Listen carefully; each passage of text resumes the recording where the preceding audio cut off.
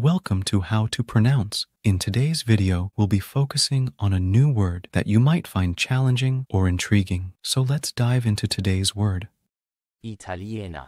which means An Italian person, native or inhabitant of Italy. let's say it all together. Italiener.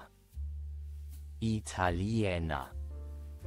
Italiener. One more time. Italiener. Italiener. Italiener. Thank you for joining us on this adventure in pronunciation. Remember, language is a journey, not a destination. Keep exploring, experimenting, and expanding your linguistic horizons. We'll see you next time.